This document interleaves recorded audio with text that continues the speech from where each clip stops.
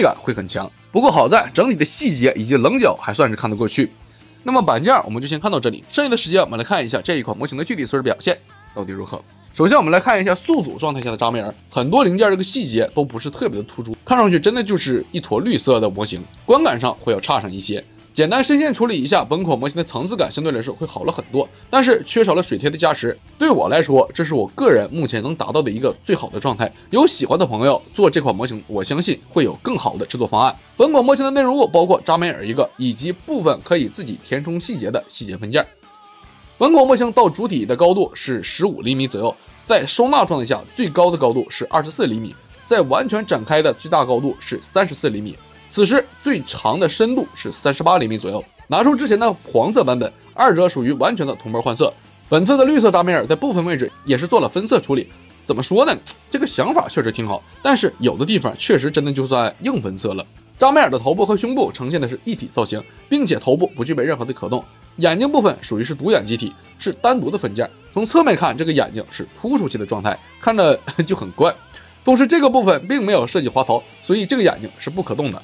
胸部上方配备了本口模型的两个武器：导弹舱和这门大炮。导弹舱是带有一定的可动，但是这个活动关节会有些松。另外一把六百八十毫米折叠式加农炮，整体的尺寸是非常的巨大。根部的连接件是通过了铸金卡榫连接在主体上，带有一定的可动，但是这个铸金卡榫的连接也会比较松。炮身可以从中间折叠展开，这个部分操作需要注意一下：先折叠九十度，然后向前推拉，再继续翻折。整个炮完全展开的长度是来到了三十八厘米，尺寸还是比较巨大的。同时，在收纳状态下也需要反向操作，各位在活动的时候一定要注意了。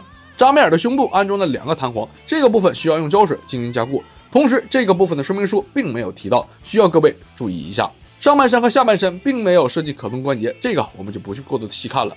肩甲和手臂的安装会非常的简单，就是普通的嵌套结构，但是手臂的铸金卡榫和胸部连接会比较松，还有些短，这个部分是比较容易脱落的。肩甲外侧的零件内部也是有提供铸金卡榫，用来顶住手臂的零件，但是这个铸金卡榫不够长。肩甲上方的撞钉和圆形零件都是独立分件。肩甲除了正常旋转以外，还带有轻微的侧摆可动。上臂是带有旋转可动。肘部采用了单段关节，受机体造型的影响，手肘部分的活动就比较微弱了。手部只提供了这一种造型手，并且提供了两对，都是相同的造型。通过球形关节进行连接，是带有一定的可动。侧裙甲和前裙甲安装在了一起，准确来说，这个部分应该是类似于平衡翼一样的状态。裙甲的内衬也是有提供一部分。本款模型深绿色的板件表现力确实没有浅绿色的好，前裙甲这个部分会有明显的瑕疵。根部是通过了柱形卡榫进行连接，带有一定的可动，这个部分安装也会比较松。拆除裙甲就能看到胯部和腿部，大腿和胯部的连接卡榫会非常的简单，就是一个柱形卡榫，但是这个部分的空档会比较大，胯部关节的连接也会比较松，但是侧摆关节相比较黄色版本要好上很多，这个地方侧摆关节紧实程度还可以。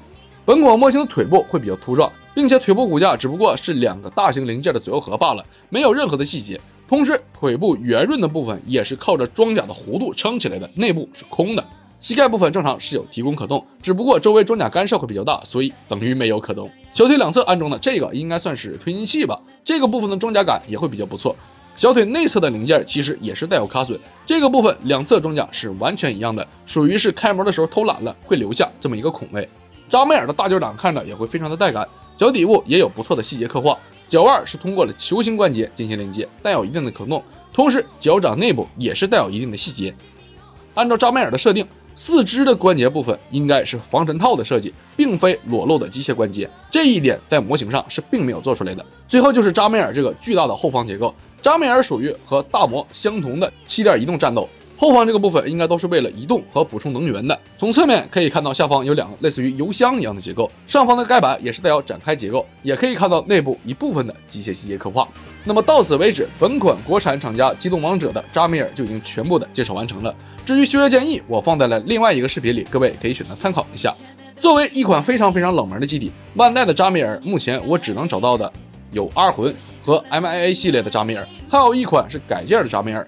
至于机动王者的这一款扎米尔是自主设计还是怎么出来的，这个就无从得知了，并且其他的扎米尔模型实在是太贵了。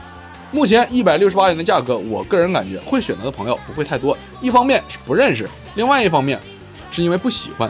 再来就是本款模型素质本身就不是太适合素组玩家，单纯素组完成以后，整体的效果确实不太好。如果能做个旧化，那么这个效果我相信会更好一些。